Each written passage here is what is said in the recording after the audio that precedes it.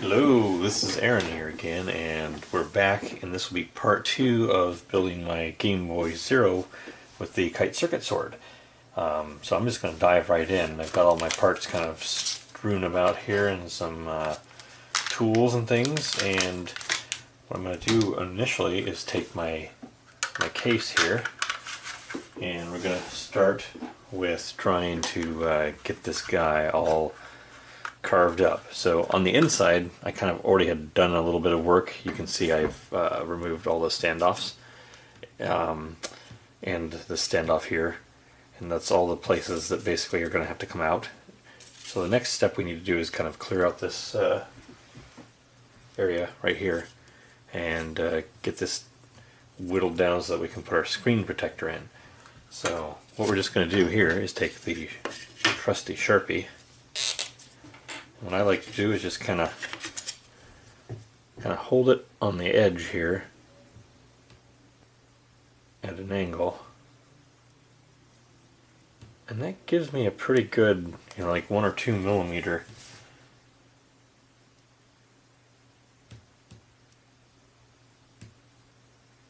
approximation here to cut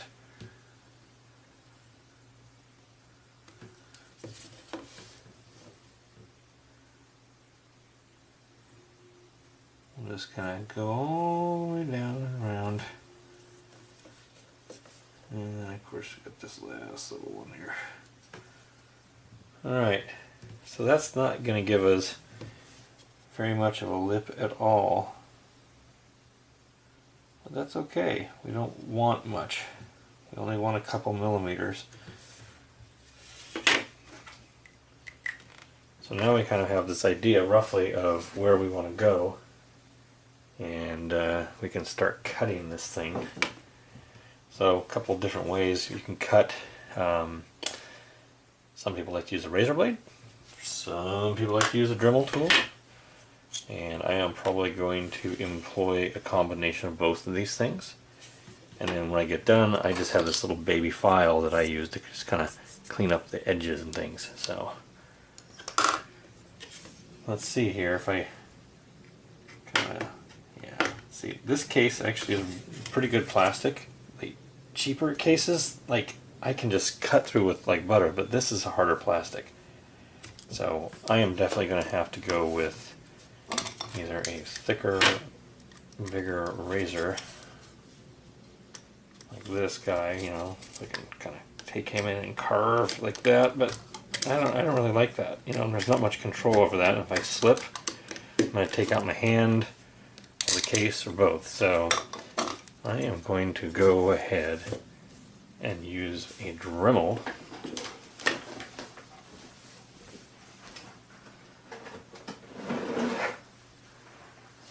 I'm going to bring over into view here. I have these nice easy lock cutting kit that I've used for a lot of things and they've got thin cut wheels which these are great and they're easy lock because you literally just pull this tab and the top spindle just comes loose and you can just flip these off here. But they're nice and big and they're reinforced so they'll make a nice cut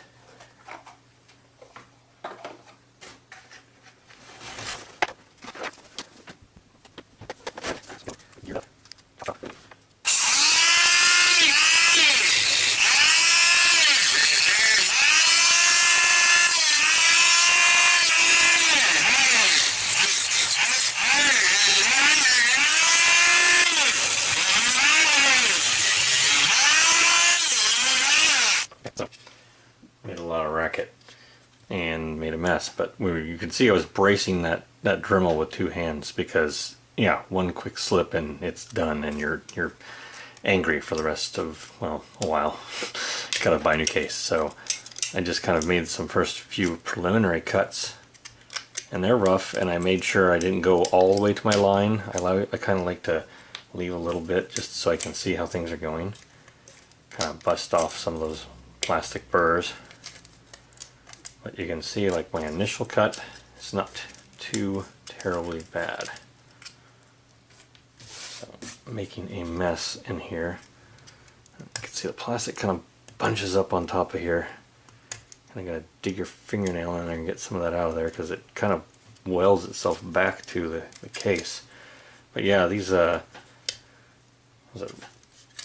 retro handhelds cases with the better quality plastic. They are yeah, they're a lot tougher than the plastic.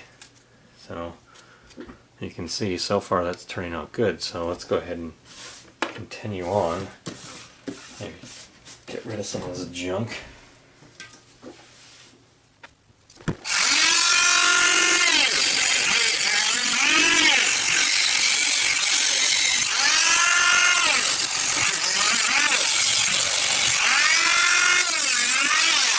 So a little bit more off there, right? Just kind of work it a little bit there. That's still in there.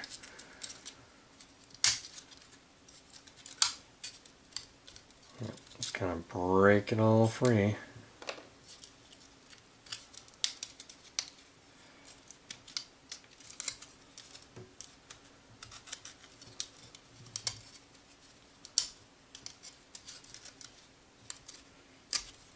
This is honestly one of the most time consuming parts of the project is just modifying the case. I mean with the kite board you don't have to do a whole lot of anything. So really spending your time on these cases most of where it's going to be. Alright, clean up some more of my junk. Nice jagged plastic there. So you can see that I've gotten pretty far here. And uh, what I need to do now is that little edge on the right hand side, that little lip. That's kind of the trickier part because I can't get in there with with that. So I typically like to do that by hand if I can, but like I said, this plastic is so dense. You know, it's really hard to get a good cut on it with the X-Acto tools. So definitely gonna have to probably use some more Dremel work here.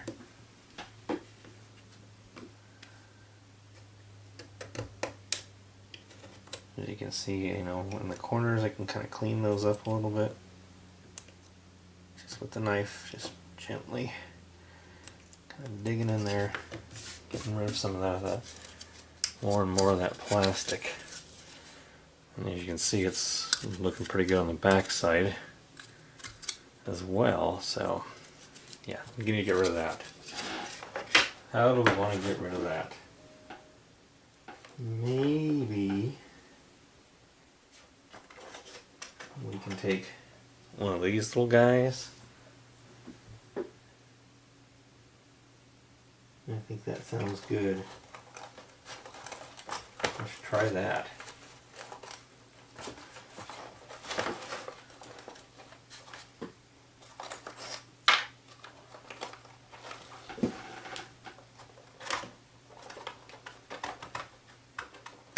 If it wants to come out. Alright. And yes, this is my old Dremel Model 395 Type 3. It's probably, oh man, I don't know, over 20 years old now. But it just won't die. And I've had this thing since I was a teenager, so. Alright.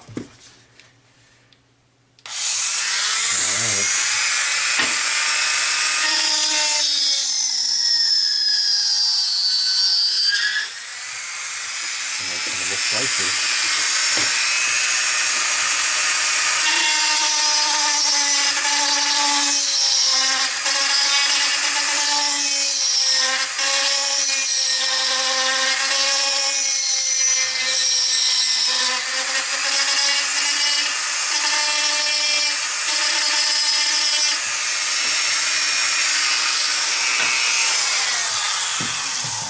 There we go.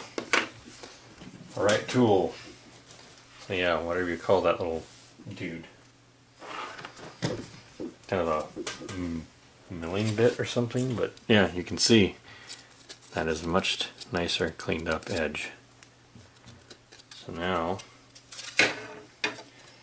I'm just going to take my blade, on the back side kind of at an angle and just kind of you know get all the excess plastic that kind of built up from the cutting process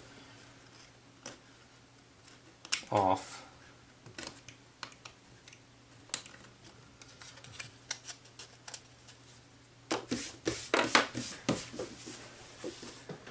And now is where we can take that little cool file that I was talking about and we can start really kind of trimming these up. So.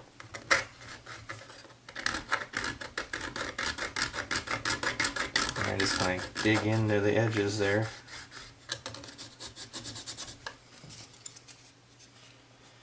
But so far so good, so yeah, this is just going to be the tedious part now. I'm just going to slowly carving this guy up into those next steps.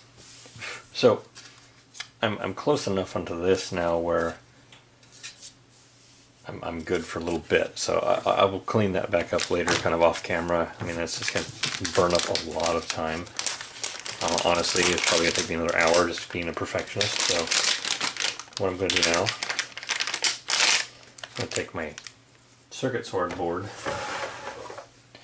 and I'm going to kind of lay it into the front shell here like so so I need to mark a few things and what I need to do is mark on the upper right hand side that USB-C port and down below that digital volume rocker the circuit sword doesn't normally have that volume rocker I added it so now I have to deal with it so what I'm going to first do is just kind of line these guys up make sure this is decently lined up.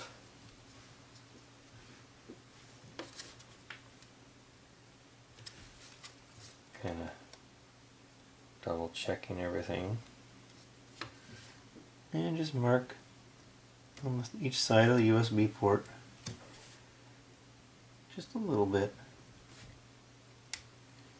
Just some little lines so I know where to cut. And I'm going to do the same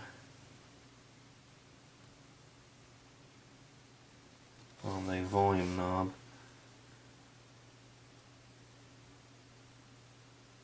Pretty wide on the volume knob.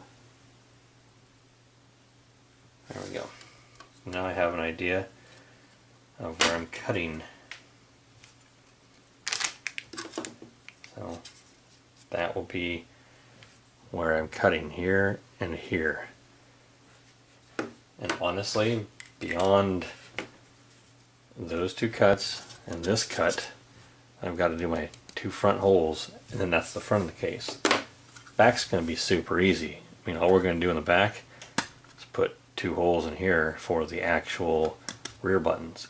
But we're not even going to do anything with the battery door because our fancy battery here will slip in nicely here and quite just sits perfectly here. It'll know, move a little bit side to side, but we can put some foam in there to buffer it. But no mods, perfect fit. So score on that one. Alright, so I will go ahead and just start cutting these with the Dremels and everything and come back.